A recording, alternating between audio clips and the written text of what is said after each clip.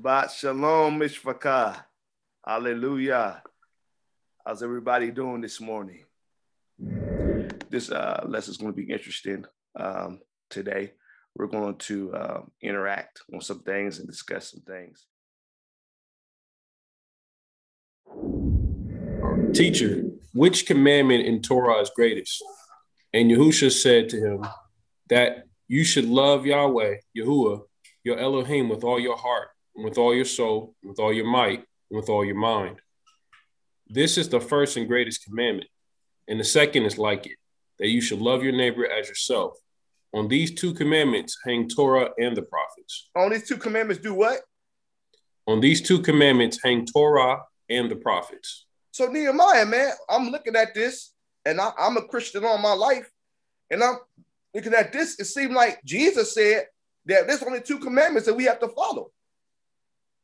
Nah, he, he's saying that that is the foundation of every law that's in the Torah and every every command that's given in the prophets.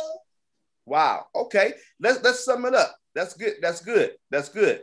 That's good stuff. All right. So note that they hang on Torah. He didn't say replace Torah. He said that these commandments they hang on Torah. All right. Most Christians don't mind adhering to the Ten Commandments, even though they don't bother to keep even the fourth commandment concerning the seventh day. What is the fourth commandment? Keep the Sabbath holy. Keep the Sabbath holy. Now, now, how come we don't keep the? How come the majority of us in Christianity don't keep it? What happened? Good old Constantine. You mute? Constantine did that. What what year did that happen? What year did Constantine put this? 325. Huh? 325 AD. Say it again. 325 AD. All right, 321, 325 AD. There was an edict that he changed the law. He went in, this law that was given to Moses by Yah, a man went in and changed the word of Yah. Unbelievable. Give me a precept on that, Celine.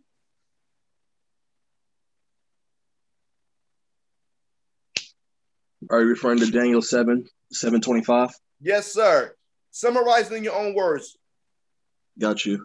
Uh, so there's going to be a um, uh, de- de- deception to, ta- to change the laws and and uh, seasons and festivals. Precisely. Excellent. Excellent. Excellent. So we see here that there was agenda of man through Rome to change the commandments. And they did just that. Okay. Which were a part of Torah. Okay. Man has always liked to pick and choose. Now, I'm gonna say this, and I I was in the barbershop for years. And um Taylor's brothers, which work at the barbershop, we would have major discussions. We would talk about church, we would talk about Christianity. And one thing needs to say to me all the time that, man, Stone, the Christianity that you in, it's like y'all pick and choose. You seem like y'all pick and choose, which and I will argue with them and debate with them. But I had to recently apologize and repent to them and told them they were right. That the ministry of Christianity is picking and choose. For example, Christianity does not teach the laws, statutes, commandments, or the feast days. But they do keep one. What feast days do they keep? Ishtar. well, that's that's the man-made holiday. But what the law, the, the feast of Yah, which one do they keep? Passover. Not at all. They don't keep that because they call it the Eucharist. They call that communion. Uh, which one do they keep out of the seven? You said Pentecost. Pentecost. Correct. yeah. Now you keep that one out of all the laws, now, all the all the feasts out here. You got Passover, Pesach. You got the Matzo, unleavened bread. You got first fruits. You got uh, Yom Teruah, the Day of Trumpets. You got uh, the Day of Atonement. You got Sukkot. But that day is the day they choose to pick because they got they get to go in there wear their white and run and shout and run up and down and speak in tongues and fall over the steps and stuff. But it, that's the pick and choose ministry. What? Why you choose that one and none, none of the other ones? Hmm. Interesting. That's interesting. But when it comes to Yahuwah's word, But it's time to realize the seventh day Sabbath command, along with his seven scripture feasts, were never abolished on the cross or anywhere else. There are parts of Torah that Yahuwah said would endure forever. What is that word in Hebrew? Forever, eternity. What's the word for that? What's the word for that? Olam. Come on, sir. Olam. That is the Hebrew word which means forever. Yah's word is forever. Remember, Malachi chapter 3, verse 6. It says, I am Elohim. I do not change not. Hebrews chapter 13, verse 8. Said, I am the same yesterday, today, and forevermore, which means he does not change. Who changes? Man changes. Yah don't change. So when you change the word of Yah, you're making Yah to be a liar. Somebody's lying. Because the word says forever, eternity. Hmm, interesting. And the seventh day Sabbath and the script, scriptorial feasts are among them. All right. So understand this. What did Yah, what did Yahusha do? Like Nehemiah said, when when he told them that to hang those two commandments and to hang them on Torah, he was summarizing. Okay, so somebody give me um, Deuteronomy chapter 6, verse 5. Anybody, get that for me.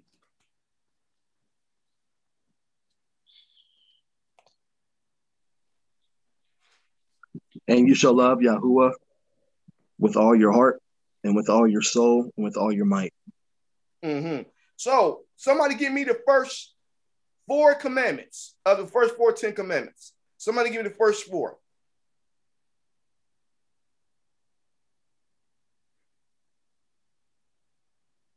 Anybody? I don't know. In, I don't know in the chronological order, but thou shalt not uh, kill. Thou shalt not steal. Thou shalt not uh, uh, bear false witness. Is that the, the first four? I did the first four chronology in, in, in order. Yes, sir. Somebody get that. Google it. Whatever you got to do. Give me the first four in order. Thou shalt not have no other gods before me. Okay. Thou shalt not make- okay. Hold on. Hold on, Zakane. Say it. Read that again. Read it slowly. Thou shalt not have no other gods before me. Stop right there. Celine, read your verse. Again, Deuteronomy 6 and 5.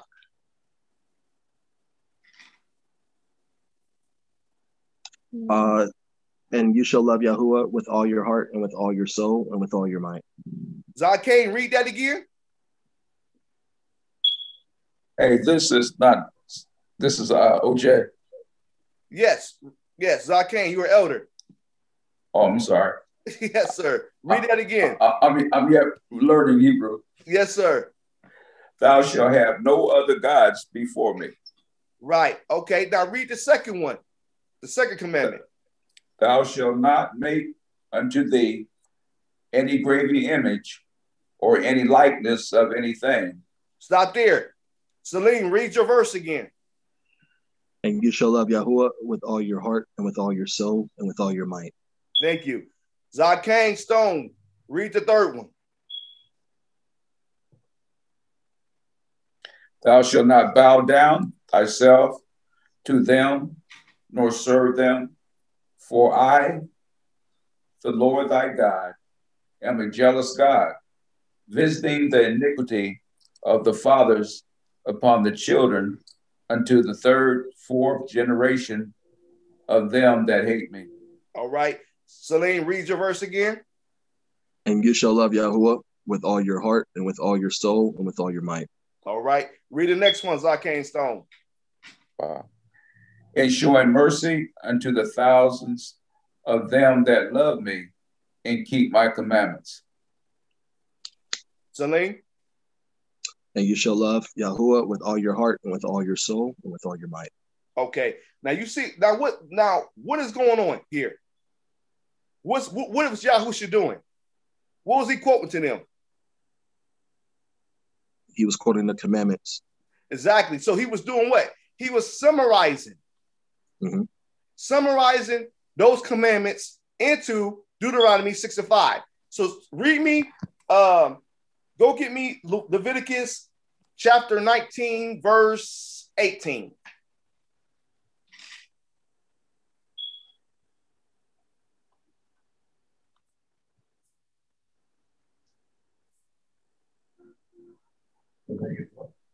1980. Yeah, oh, you said 19 and 18? Yes. Thou shalt not avenge nor bear any grudge against the children of thy people, but thou shalt love thy neighbor as thyself. And right, right there. Stop right there. Okay. Someone read me the, the, the, the last five of the Ten Commandments. Oh,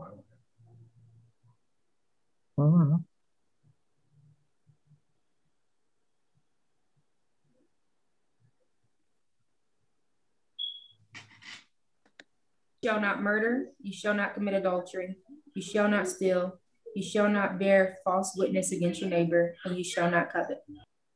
Okay. It's, and read that Nehemiah. Read Leviticus 19, 18 for me again. Thou shalt not avenge nor bear any grudge against the children of thy people, but thou shalt love thy neighbor as thyself. So I what am- was so what was he doing? Yahusha was summarizing the Ten Commandments in two verses. He wasn't saying this is all you have to do, these two verses. He was summarizing. You see how the first five went with Deuteronomy 6 and 5, and the last five went with Leviticus 19 and 18? He was just summarizing. He wasn't telling us, oh, you just got two commandments. No, he put summarizing and all. Y'all see that? Does that make sense? So when mm-hmm. anyone tell you that, oh, we got to keep two commandments, you let them know that no, Yahusha was summarizing the whole Ten Commandments in two verses. Deuteronomy 6 and 5 and Leviticus 19 and 18. If if, if Yahusha was saying that we only got to obey two commandments, then we could go out there and kill people. We could go out here and commit adultery. Does that make sense? A lot of mm-hmm. times in church and Christianity, we didn't use logical and critical thinking.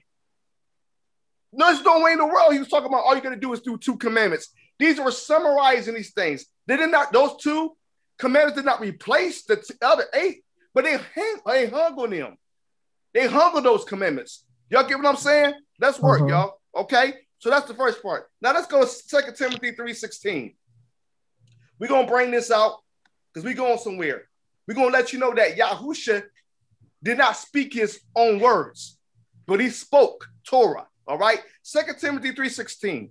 All scripture that was written by the Spirit is profitable for instruction and for uh decipher You refutation for the, you still for the grant. and for correction and for deep, extensive learning in righteousness, that the man of Elohim may become perfect and complete in every work. Peter addresses Paul's writings in 2 Peter 3:16. Notice that the term letter, epost- epistole, should not be confused with scripture, which is graphe. So understand Paul's letters that he was writing in there, is was this scripture or were they letters? Letters. Letters. They were letters. Why were they not scripture?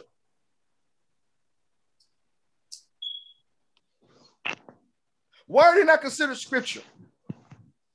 Is They were not it's part of for the the, Torah. the Torah? Say it again. They were not part of the Torah. All right. So when you say not part of the Torah and the prophets, meaning what? They were not Yah breathe, spoken from Yah. The prophets, when they talked, they said Yah said. That's what they were speaking from. They were secretaries. Yah was speaking to them. Paul's teachers were letters. A lot of times, Paul put his own opinions in those letters. All right. So the New Testament generally uses scriptures 1,124 for the Hebrew scriptures. The Old Testament graphe, a writing scripture.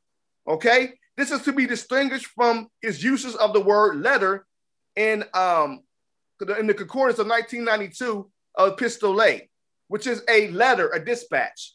Primarily, when the term scriptures is found in the New Testament, it is used in reference to the Old Testament. Here's facts. Now keep this facts. 52 times one can read the word scripture in the King James translation of the New Testament, and nearly every time it is referring only to the Old Testament. Let me read that again. Now, this is fact. Y'all write this down. 52 times one can read the word scriptures in the King James translation of the New Testament, and nearly every time it's referring only to the Old Testament. So please consider this.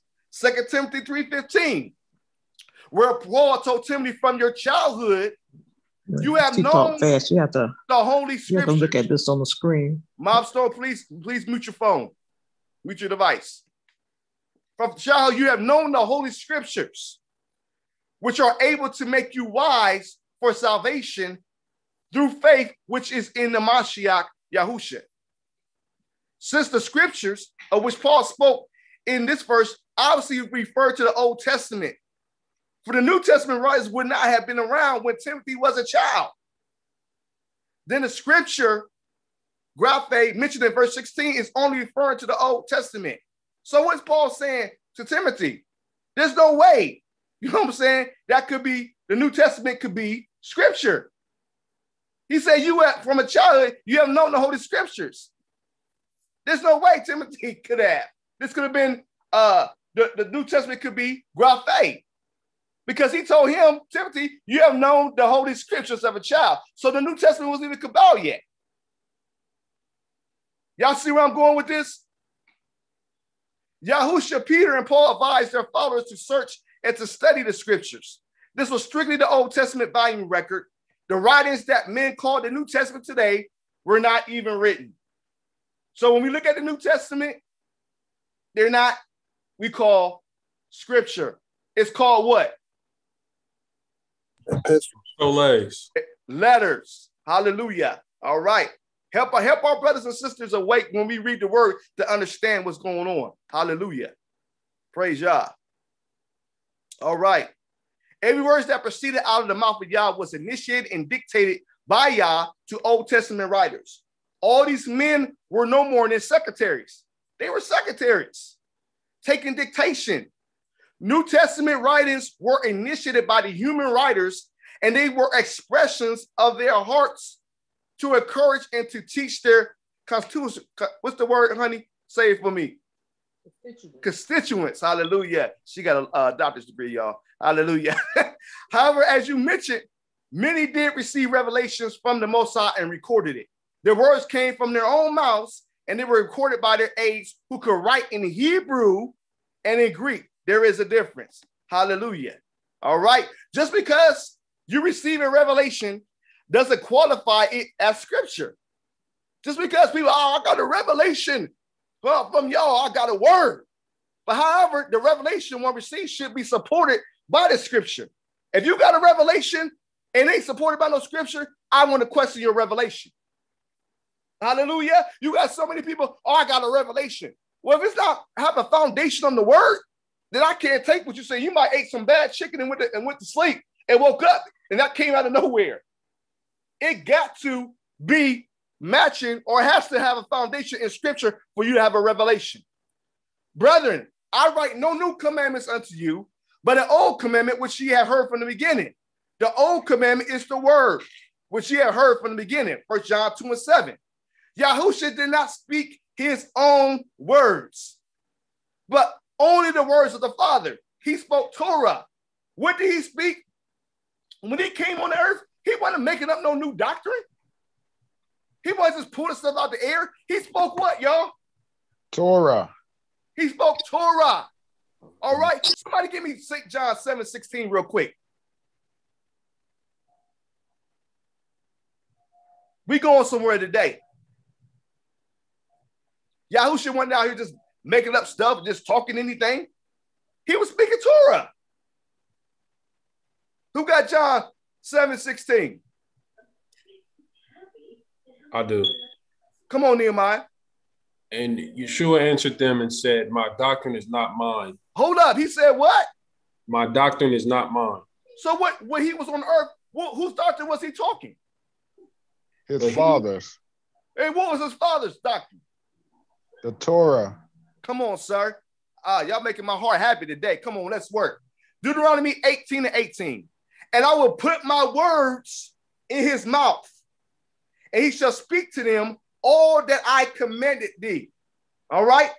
Someone, St. John 12 49, for I have not spoken on my own authority.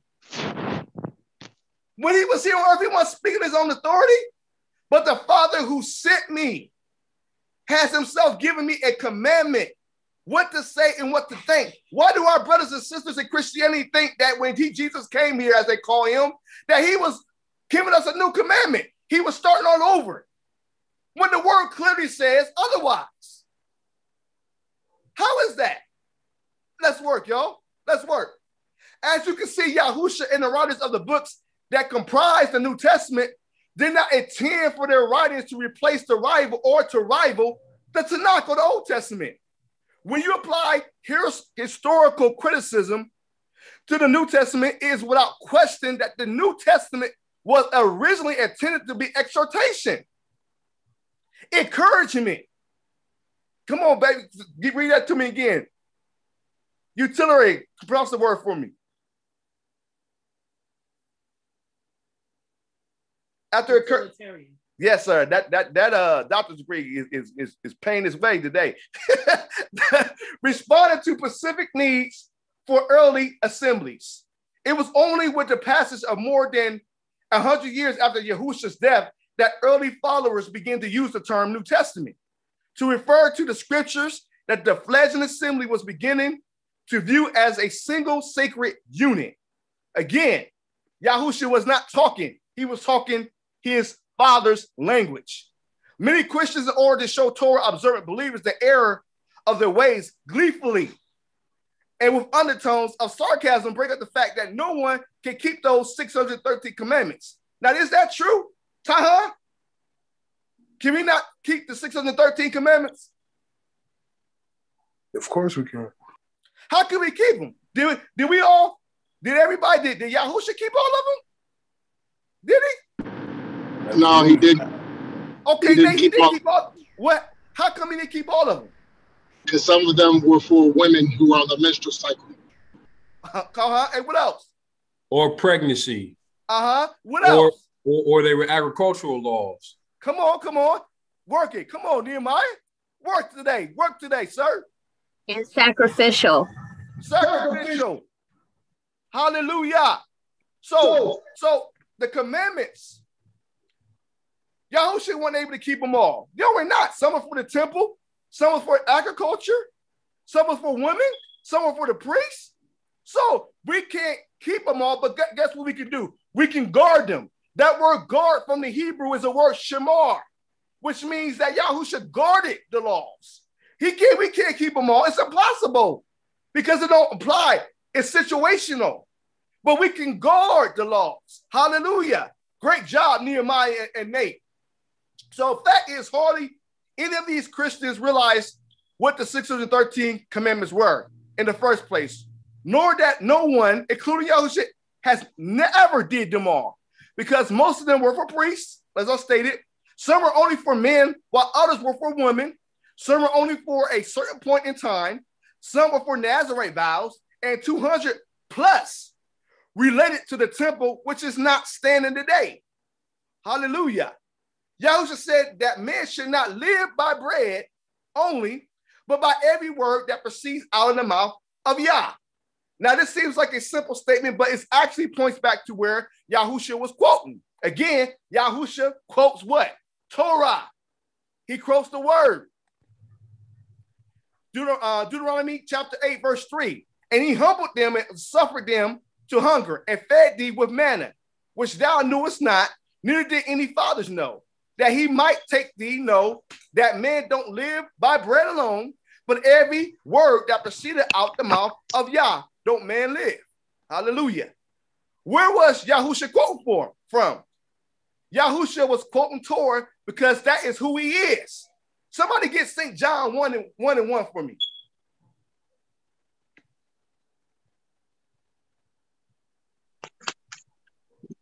In the beginning was the word, and the word was with Elohim, and Elohim was the word. And the word did what? Go down to verse what? 12 or 13. Uh, which verse 13, which were burnt, born not of blood, nor nor of the will of the flesh, nor of the will of man, but of Elohim. So in the beginning was what? The word, and the word was what? And the word was with Elohim. All right. And the word became what? It came flesh and did what? The word became flesh and dwelt among us. So in the beginning was the word. Who was the word? Who's became flesh and dwelt among us? Yahusha. And he's the what? He is the word. The word. He is the walking what? He's the working, Torah. walking Torah. Exactly.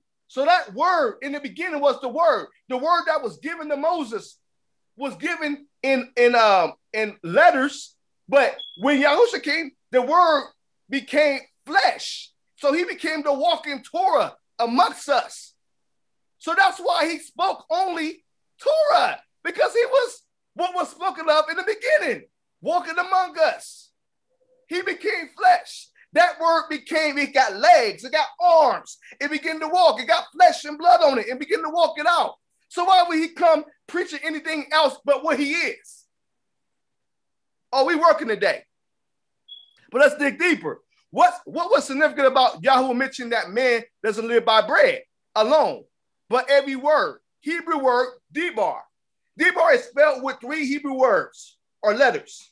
The dalet, the bet, and the resh. The dalet represents the door. Come on, Brandon. This is your this is your type of teaching right here. The dalet represents the door. The bet represents the house. Of course, the resh represents the head or authority. This is understood as Yahusha being the door to which we are able to get to the house and live to have access to the head, which is Yahuwah. Y'all see that? You see how powerful that is? Dalet bet resh. This is understood that Yahusha being the door, he's the door to which we are able to get to the house and live to have access to the head, which is Yahuwah. Hallelujah. Now, what was every word that proceeded out of the mouth of Yahuwah? And Elohim spake all these words, saying, Every word that Yahweh speaks and comes from his mouth is Torah. Instructions, teaching. That's what Torah means in a simpler version. It means instructions. So for someone to say that they aren't under the Torah or don't want to be compliant to Torah, that means whether they comprehend it or not, that they don't know Yahuwah. And he doesn't know them either. In order for us to know Yahuwah for ourselves, come on here, we must all come the same way. What is that way? We all must come by the way of the door, the dalet, to get in the house, the bet, to gain access to the head, which is the resh. And that is by the word, Torah, the word, Yahusha. Any other way is a thief and a robber. And that is just what religion is. It makes you think you are in the house. They make you think they're all right. We good. We don't have to keep no laws. We clap and swing with our robes on. Yeah, we good over here. But you came another way if you didn't come by that door. If you didn't come by that dalet to get into that house, to get to the resh, which is Yahuwah, you came another way, Doc. That means you're considered a thief. A thief. You came another way, a robber. You kicked the you kicked the back door in. You're supposed to come in the front door. You didn't kick the window in. You came another way. You got to come by the door. There's only one way through this, and that's you, Hahusha, Hamashiach. Hallelujah. You came another way. Hallelujah. Praise Yah. Praise Yah. We getting this today. Verdi, Verdi. Let's read it. Matter of fact, um, Akati uh, Davis, read that for me. Verily, verily, I say unto you, he that entereth not by the door into the she- sheepfold, but climbeth up some other way, the same as a thief and a robber. Wait a minute, Akate. What is the other way again? What's the other way? Not by the front door. The, the other way is, is, is through the doctrine of Christianity. Their way. That's not the that's not the door. Keep on reading. But he that entereth in by the door is the shepherd of the sheep. Uh-huh. To him the porter openeth, and the sheep hear his voice, and he calleth his own sheep by name and leadeth them out. Yes. And when he putteth forth his own sheep, he goeth before them, and the Uh-huh. sheep follow him, for they know his voice, and a stranger will they not follow, They but will follow the flee sheep. from him. The sheep follow him, his word. The sheep knows the word of the shepherd. They know when that The wherever why- they may be, when that shepherd The calls reason why they recognize it is because it's Torah. yes, absolute the word. They understand the words, the truth of the word Torah. They understand that. They follow the word. They because the truth is in them. They recognize that Yahusha was the walking Torah. So they identify with the word, which is the door, which is the dalet, to the house, to the rest. Hallelujah. Hallelujah. I hope this is making sense. Okay. Now let's go to our, our second half of this lesson here. All right. We understand that Yahusha speaks Torah. We understand that Yahusha is the door. We understand that he had come when there's no, no new commandment. So come on, let's dive in. Let's dive in the second part. Some people think, seem to think that keeping the Torah is the goal of following Yahusha. But that is not what the Bible teaches. The Bible says Yahusha is the goal of Torah. He's the goal. He's the telos, as it says in Greek. He's the goal of Torah. The Torah was given to lead us to Yahusha, not the other way around. Do we do we just just keep Torah as a way it means of salvation and throw away Yahusha? No. Huh? So Torah is the goal. It leads us to Yahusha. It guides us to Yahusha. The law brings us to Yahusha. The law, the, the, the law speaks of Yahusha. It points us first down, going forward, moving forward to Yahusha. That's the that's one of the jobs of Torah. Hallelujah. We know it's possible for someone to follow Torah and not be following Yahusha. This happens all the time. Look at the Hebrew, some of our Hebrew roots. They don't believe in the Mashiach. Judaism, them, them, them Europeans over there in the land, they still waiting for the Messiah to come. They don't believe in the Messiah. My, my brother Nate, Nate Oliver had an interesting um uh, conversation with someone that he called me up, and I thought was very interesting. That you know, somebody that was actually who they, you know, we call Jewish people, who they claim to be Jewish, but she said she just recently accepted the Mashiach. So Yah's doing a great work across the world. He's waking people up. We going uh, Nate, you still there? Uh, Nate? Okay. But yeah, he- I'm here. My bad. I couldn't unmute myself. Could you just real quick in two minutes, can you just tell us what happened in that encounter with her? Yes, sir. So, yeah, I went to uh First Watch. I believe it was on Wednesday, and uh I went there, had my Bible out, whatnot, and uh she was uh my waitress. So she looked down my Bible, and she just asked, like, "Is that a Hebrew? Is that a Hebrew Bible?" And I was like, "Yeah, it- it is." You know, I've been studying the Old Testament, and you know, for this past year, I've really been uh really just trying to educate myself in that because you know I was in Christianity and now I'm kind of I'm moving away from it. So we really started talking, and she's actually from um, she's actually from Israel. She moved to Cleveland, uh, obviously years back, and she went to Hebrew school for about eight or nine years. And she was basically telling me, you know, she just accepted uh, the Messiah, and she finds it funny that you know all these Christian churches, all they do is talk about the New Testament and the epistles, and she basically said like they don't even know what they're talking about because they don't understand the Old Testament. And then she also said that anyone in Christianity is in a false religion, essentially, because you're serving a Hebrew God. He's the God of Israel. Mm. But then what she said was what threw me off, not really threw me off, but really let me know that I was doing the right thing, is when she said, you know, um, a lot of people look at her and they don't think she's Jewish or Hebrew. But, you know, she has cousins that look like me or maybe a little bit lighter than I am. And then she also says that, you know, they have Hebrews in uh, Ethiopia, Asia, over in Europe, the Ashkenaz, Ashkenaz, Ashkenazis uh, up there, and then also she said those are the people that are in Israel right now. And then she said, you know, I think there's also Hebrews that came here to America too, like on the ships.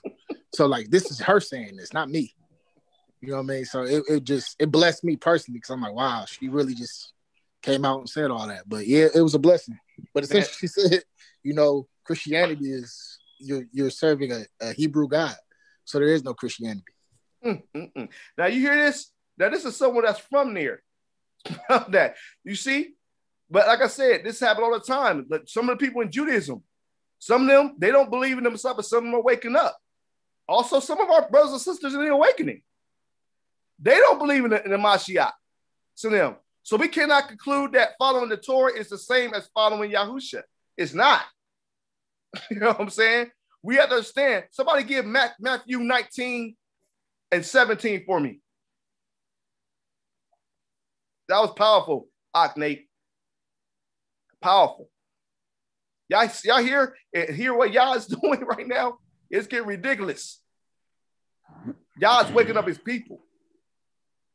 Matthew, anybody, Matthew 19, 17. And he said unto him, Why callest thou me good? Mm-hmm. There is none good but one, that is Yah. Mm-hmm. But if thou will enter into life, keep the commandments. Uh oh, hold up. Read that last part, Nehemiah.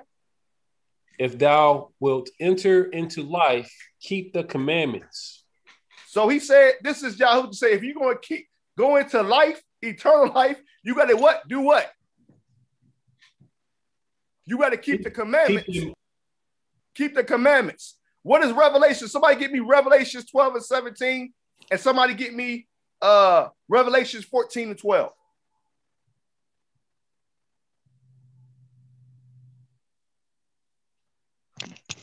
Revelation. Dragon. Go ahead. Go ahead. Go ahead. And the dra- and the dragon was wrought with the woman and went to make war with the remnant of her seed, which kept which keep the commandments of God and have the testimony of Jesus Christ. Mm. So the dragon was coming up the ones that kept the commandments and the faith in the Mashiach. Somebody get me Revelation 14 12. Here's the patience of the saints. Here are they that keep the commandments of God and the faith of Jesus. So, so what is that saying? in order to enter into life, to endure to the end, to make it to the kingdom, you got to keep the commandments. Torah is important. It's important. Having faith in the Mashiach is important. That's how we gonna make it. You see how Christianity has messed us up? Let's keep going. Let's keep going. Let's keep going. The Apostle Paul is a great example of this.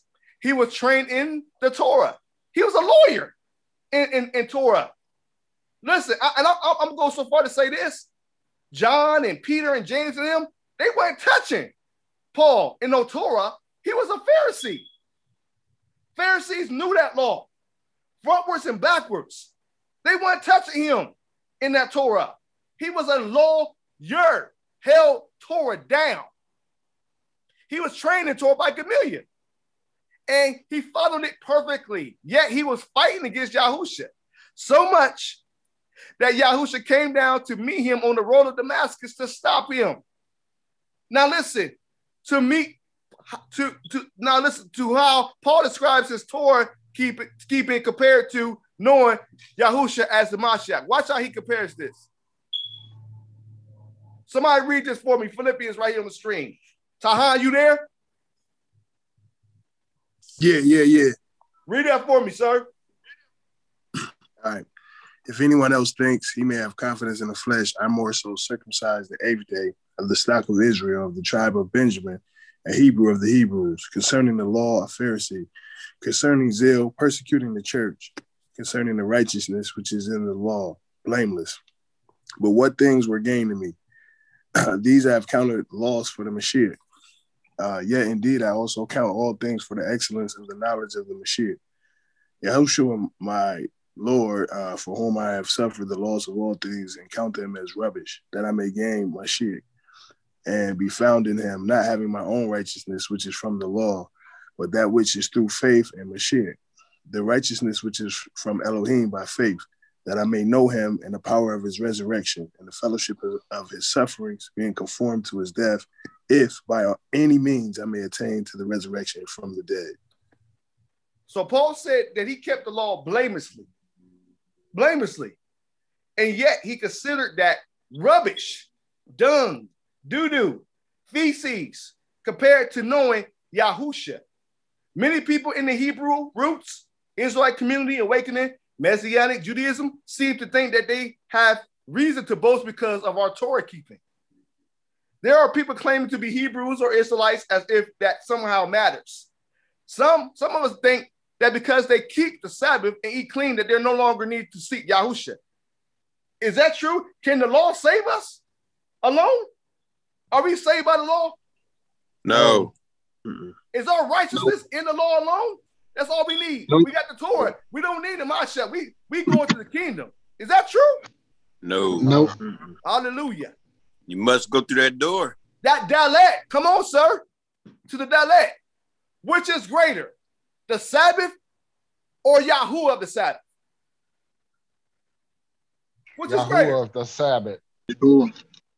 Which is greater, the law Yeah. or the lawgiver? Lawgiver. Giver. right. Some people seem to think that keeping the Torah is the same as following Yahusha. Sadly mistaken. However, this can't be true because the Torah came first to point us to Yahusha. Come on, Galatians 3:24. Therefore, the law was our tutor to bring us to the Mashiach, that we might be justified by faith. So the law was our tutor. It was taking us. Back and see, people understand that Paul was quoting something that was going on in Rome. Back in those times, uh, a tutor or schoolmaster was called a rogue, and they were hired by by people in Rome that were uh, that was well off, and they would hire these tutors or schoolmasters to take their children back and forth to school and make sure they got their lessons. That was their job. They were not the ones that were teaching the children, but they were the one that was teaching, taking the kids and making sure they were disciplined and going back and forth to school. So is the law. That was the job of the law. The law's job is to lead us to the Mashiach. But after we, after the law took us there, is the law's job done? Is it over? We don't have to keep the law no more. Is that Yes, the only job of the law? Was just to be the schoolmaster? That's it. Oh, now that we be to, to Christ, it's over with. We don't need that law no more. Get out of here, law. Is that what he's saying? Not at all. No, there was more than one function of the law.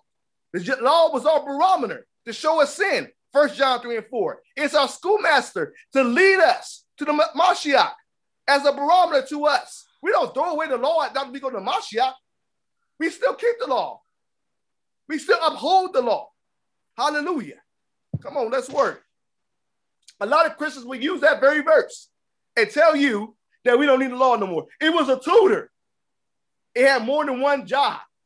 One of his jobs was to lead us to the Mashiach. Hallelujah. Torah is important to us as we are instructed to follow it. However, is Torah all we need? No. If Torah is all we need, then there was no need for Yahusha to have come. If Torah is all we need, what was the purpose of him coming down here? We needed a redeemer. The law wasn't able to save us. We need somebody to save us. Somebody had to come to take the death decrees out of the law to save us and give us salvation. Let's be clear no amount of Torah keeping will ever save you. We are not saved by keeping the Torah. You are saved by placing your faith in Yahusha while keeping Torah, as uh, Chap read in Revelations 14 and 12. Hallelujah. Precepts, Galatians 2 and 21. I do not set aside the grace of Elohim, for if righteousness comes through the law, then Mashiach died in vain. If we were saved by the law, righteousness came back, we wouldn't need him. Come on, let's get a receipt. Let's get a receipt. Is the law then against the promises of Elohim? Certainly not. For if there had been a law given which would have given life, surely righteousness would have came by the law. Come on, Paul. Paul representing Romans chapter 3, verse 21 22. But now the righteousness of Elohim apart from the law is revealed, being witnessed by the law and the prophets, even the righteousness of Elohim through faith in Yahusha HaMashiach to all and on all who believe. So it's through the Mashiach that we're saved, not the law, not the law. So when they come telling you Christianity, oh y'all y'all legalism, y'all walking in legalism, man. Y'all keeping that law, man. Y'all this and that, man. The law done went nah. These scriptures uh, is, is, is ammunition for y'all. Pull these scriptures out. We're not saved by the law. The law is a barometer, but we keep the law. Where there's no law, there's no sin. Where there's no sin, there's, there's grace. We need a redeemer by Mashiach. We need a redeemer to come, but we have to keep the law. However, knowing that the law cannot save us does not give us permission to throw out the law. Yes, we are saved by faith in the Son of Elohim, but we who are being saved are expected to walk according to the law. Romans 3 and 1. Do we make void the law through faith? Certainly not. God forbid. On the contrary, we do what? We establish the law. We hold that law up. We hope we keep it. We guard it. Hallelujah. For if thou believe Moses, you would believe me, for he wrote about me. But if you do not believe his writings, how will you believe on, on, on my words? What did Moses write? What was what was Moses writing down that was given to him on tablets? The what? The commandments. The law, the commandments. Yes. So if y'all believe on Moses, you're gonna believe on me because he wrote about me. What you think he was writing about? He was writing about me. I'm I'm him. I'm that guy.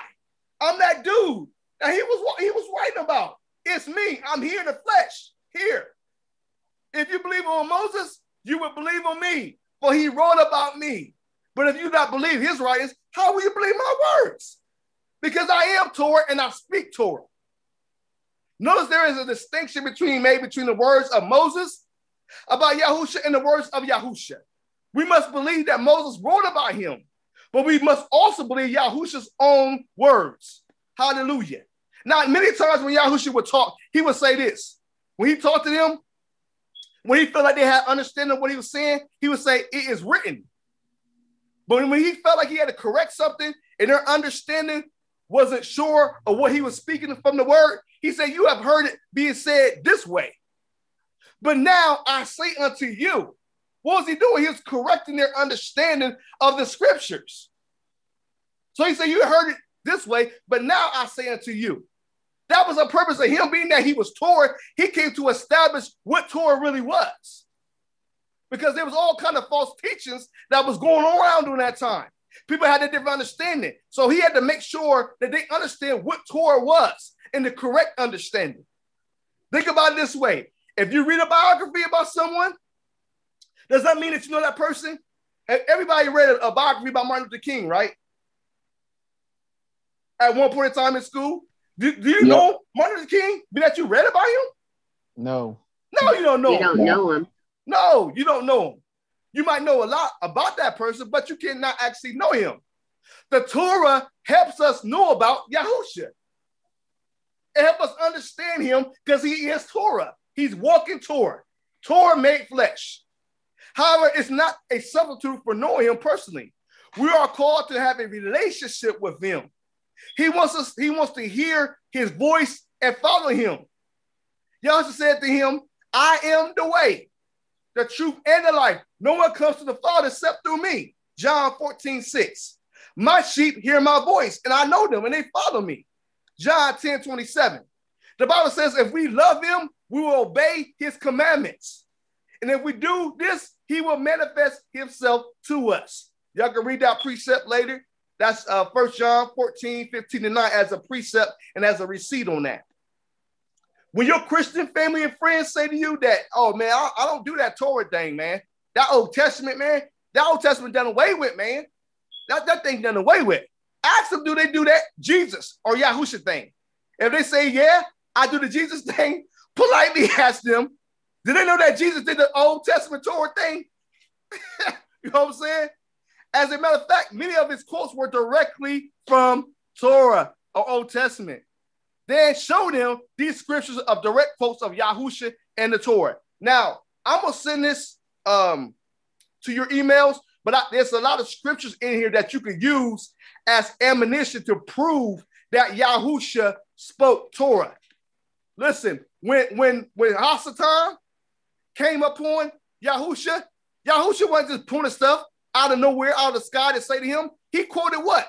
He used the word. He used Torah against Hasatan. Uh, was it Matthew 4 and 4, Luke 4 and 4? But he answered, It is written, man shall not live by bread alone, but every word that comes out the mouth of Elohim. Where's that found out? Find that. He was quoting what? Against Hasatan. He was quoting Torah. Deuteronomy 8 and 3. He wasn't just speaking anything. He didn't come. Listen, we read John 7 16. I didn't come in no new commandments. He was speaking Torah against the enemy. When the enemy comes up with us in our lives, it comes against us, then we ought to speak what to the to the enemy?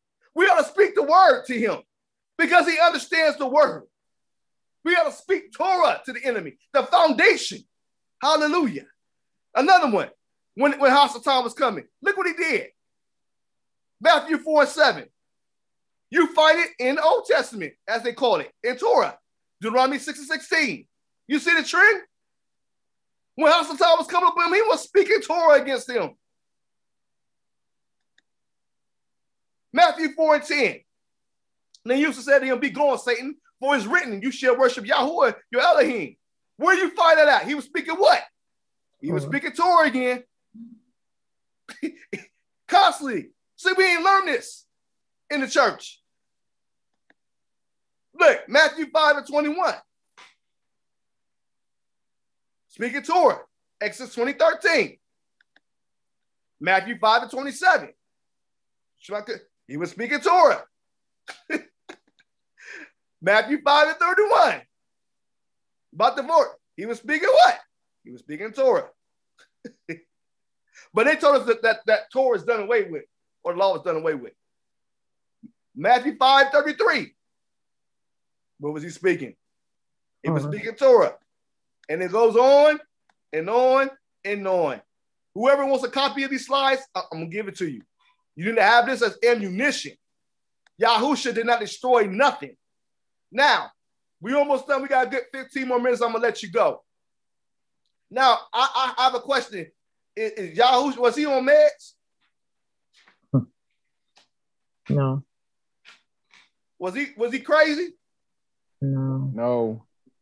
Was he conflicting himself, contradicting?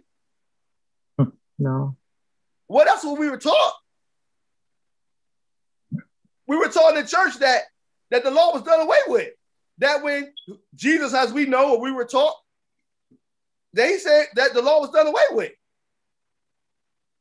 But I just told y'all, it showed y'all for the last 45 minutes that he was speaking Torah. Somebody, somebody ain't telling the truth, man. Something making sense here. As my brother Ak Nate says, let's make it make sense. Unfortunately, many believers tend to think that he is bipolar. Many pastors and well, many Christians interpret fulfill in Matthew 5 and 17. It means done away with. It's no longer applicable. It makes absolutely no sense in the light of the words of Yahusha in Matthew 5, 17 to 19, in which it is stated, nothing will change until heaven and earth disappears. Then Yahusha even goes on to list the consequences if anyone practices and teaches any, even the least of the commandments are no longer applicable. applicable. Let's read. Somebody, let me somebody read. I ain't called on. Who, who's there could read for me? Who ain't who hasn't? I want to hear from everybody. Where my daughter at? Jackie, can you read for me?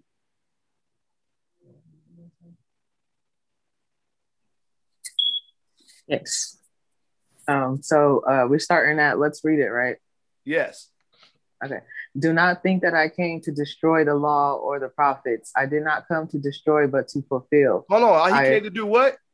To fulfill. That means done away with, right? No. okay, keep reading. For assuredly I say to you, till heaven and earth passes away, one jot or one tittle will by no means pass from the law till all is fulfilled. Whoever therefore breaks one of the least of these commandments and teaches men so shall be called least in the kingdom of heaven. But whoever does and teaches them shall be called great in the kingdom of heaven. All right. So we choose the word fulfill in verse 17 to mean that the whole law of Yah is no longer going to be applicable to believers. Here's what we have Yahusha saying. This is what he's saying in verse 17. We, we believe that I come not to destroy the law, but to make it no longer applicable. But until heaven and earth pass, every jot or tittle of law still stands. Verse 19. Even though the law of God is no longer going to be applicable, as stated in verse 17, anyone teaching that the whole law of Yah is no longer applicable will be least in the kingdom. Does that make sense? Is, is, does that make sense at all? No, no, especially when you read in Revelation where it said that um, he was coming after the children that kept the commandments. Absolutely. Absolutely. This right here is conflicting. It doesn't make a bit of sense. It doesn't make sense. We're not looking at, there's words in here that is not in context to make you think that he's saying that the law is done away, but it's not. But if you look at the verses following that, you clearly say, look, like, look, I could not destroy the law, but to make it no longer applicable. But until her earth and heaven pass away, every jot or tittle of the law still stands. That don't make sense. Even the law of Yah is no longer going to be applicable. As stated in verse 17, anyone teaching that the whole law of Yah is no longer applicable will be least in the kingdom. that definition that many Christians use for fulfill, no longer applicable in verse 17, just doesn't seem to work, no matter how you slice it. This means that fulfilled in Matthew 17, the Greek word plero or plerosai must mean to fully pre- preach or fully teach the law of Yah. It cannot teach that any part of the law of Yah is no longer applicable because it would it would then render verses 18 and 19 as irrelevant or even contradictory. It doesn't make sense. Obviously, Yahushua did not say in verse 17 that he intends to fulfill the whole law of Yah that is no longer applicable, and then immediately proceed to tell us that it is applicable to us, at least until heaven and earth pass away. My goodness. This is the stuff that we were, were being taught. This is, it's contradictory. He could not be saying the law was done away with because that word fulfilled does not mean it's polerosa or polero, which means to fulfill, walk out to fulfill, to hold up. It doesn't make sense. And then, as if it was not enough, then proceed in the next verse to say that there are eternal consequences to the believer for teaching and practicing that even the least of the commandments are no longer applicable. That will make Yahusha schizophrenic or bipolar. You see that? How would the law of Yah be removed and not be removed at the same time? And if the law of Yah was removed by him fulfilling it, then why would there be negative consequences, as it says there in the 18th verse, that will result if someone teaches and practices that some of the commandments no longer apply?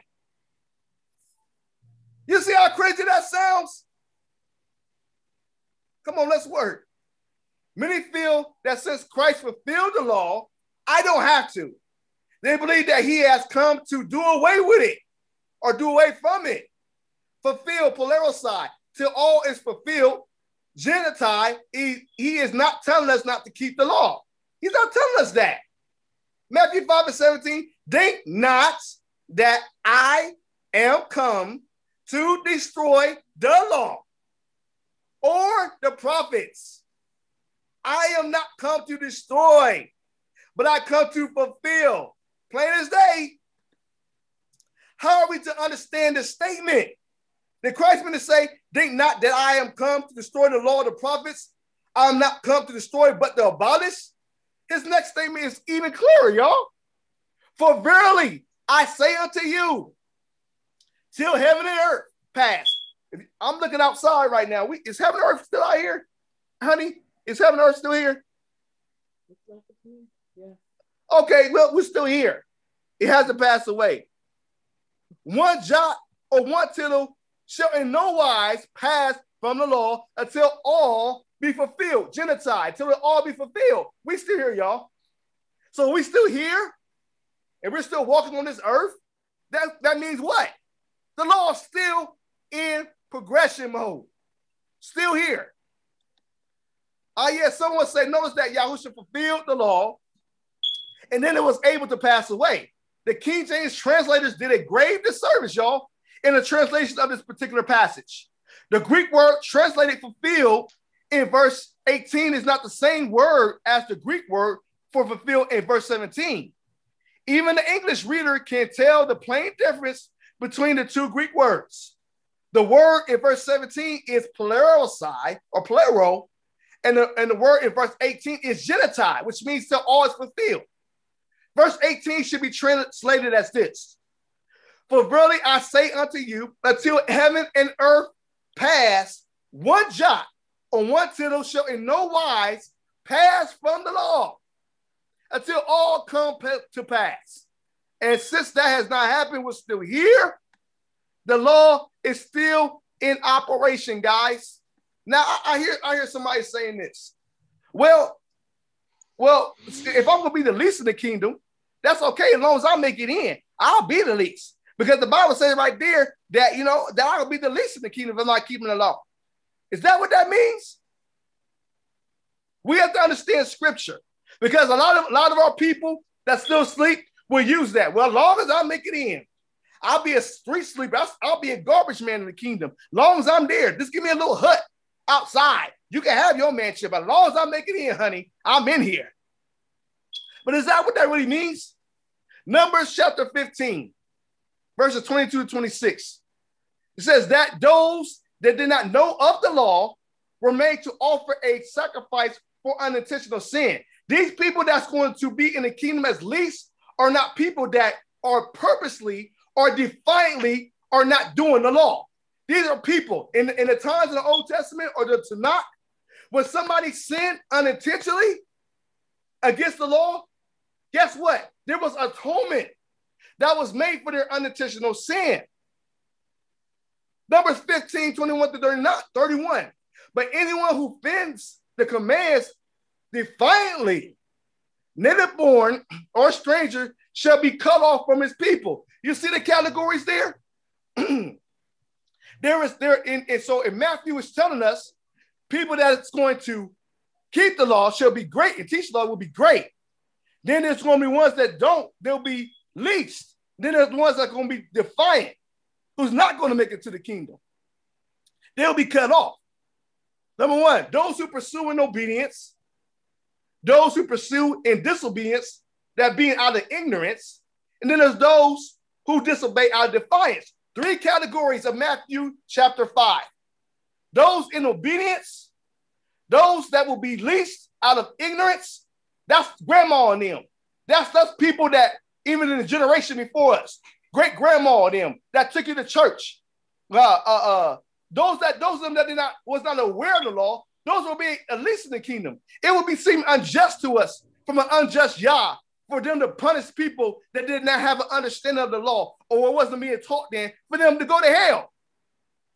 Does that make sense? That don't sound like a just God to me. But people who are doing it ignorantly, those that were teaching back in the old time in the 50s and 60s, there was an old mother in Zion that I grew up with called Mother Kerbo. They didn't know nothing about no law. But Daniel prophesied, he said, in the end time, in the end time, knowledge shall increase. Do y'all believe that we're in the end time?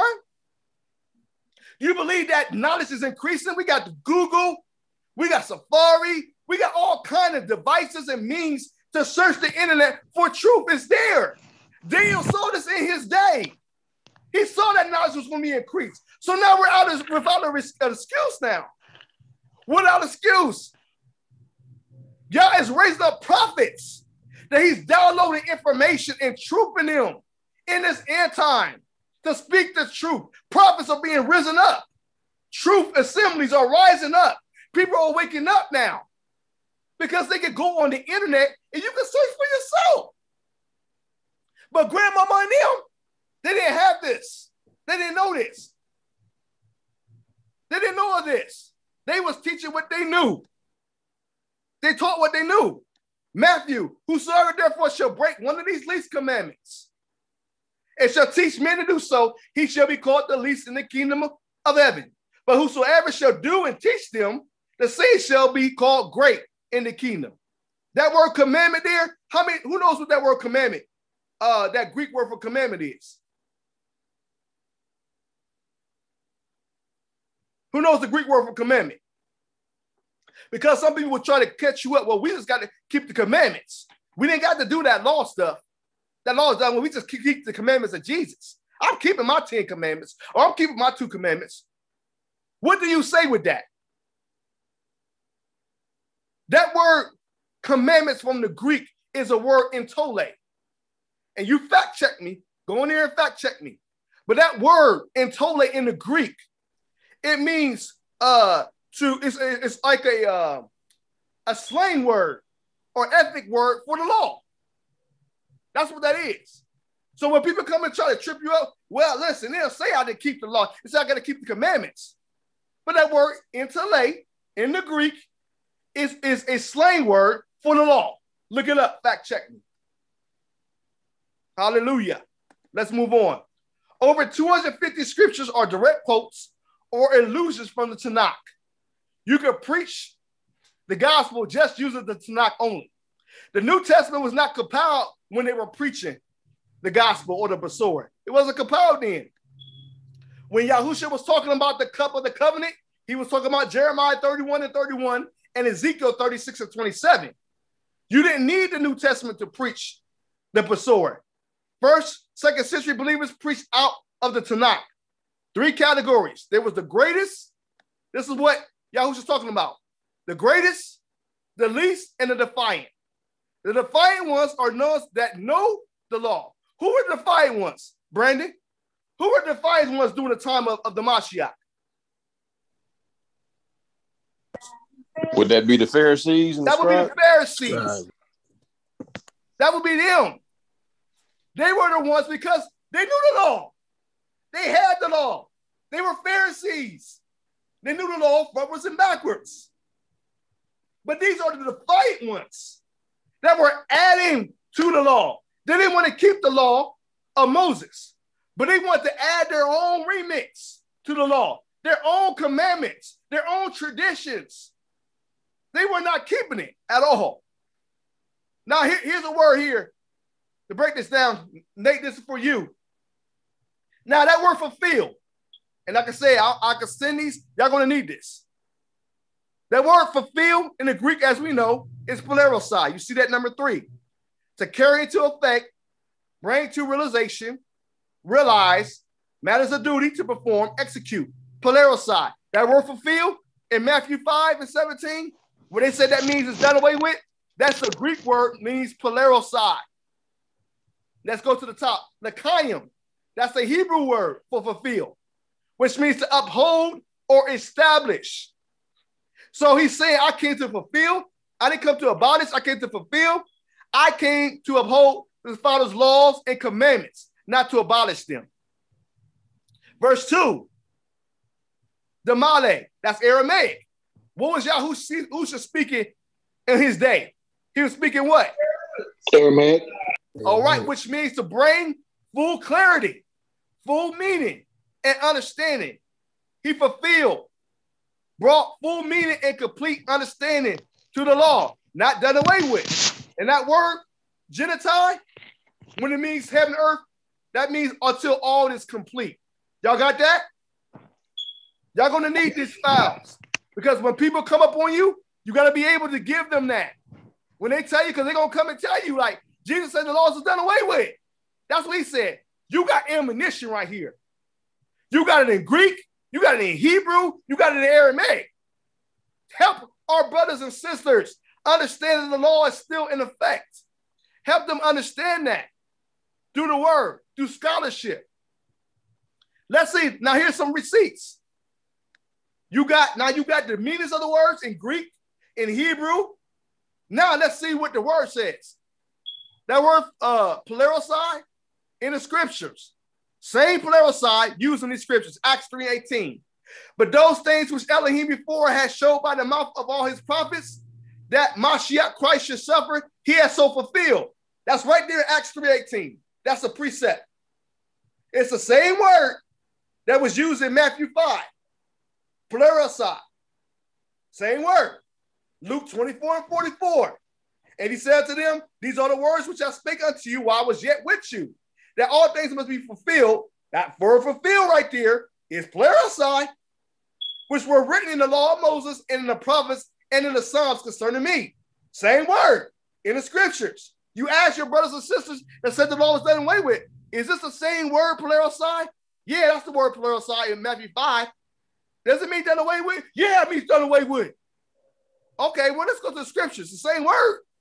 In the same word in these different scriptures, it means that he came to carry it out, not to do away with. Some more precepts. Romans 15 13. Now, the Elohim of hope, feel, plerosai, same, same word here, there, fulfill. It's the same word in Greek.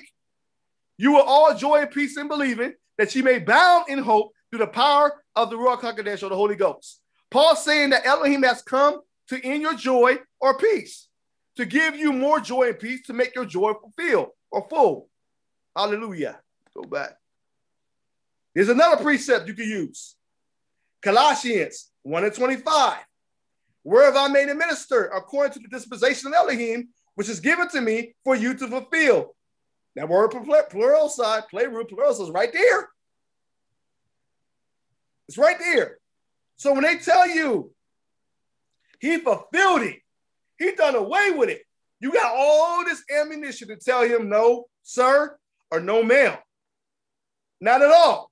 That's not what that means. That word genitai means what? Until what? Until heaven and earth pass away. Genitai. All right. I ain't gonna go on with that because I feel like I I I, I gave you a lot today. So before we go, let me ask you a question. What does the word fulfill mean in the Greek? Polarosai. Polarosai. What does it mean in the Hebrew? Carry out. What's the word in Hebrew? Lakayim. Lakayim. Lakayim. What's the word in Aramaic? Uh, this starts with a D. I don't know how to say Dema- it. Demale. Damala. Damale. Damale. Damale. Now, did Yahusha come? Did he come to destroy the law? No, he came to demolish it. Carry out. To carry out. Exactly. Exactly. So when your brothers and sisters come to you and they, they come with Matthew 5 and 17 and Yahusha, did he speak his own words? No. He spoke the words that were written before. He spoke the words of the prophets and everything in the Torah. Out of the Torah. So he, he didn't come on the new doc. He wasn't making stuff up. No, sir. Nope. Not at all. Not at all. So he he was teaching and preaching him, which is Torah, because he was the walking Torah, walking it out.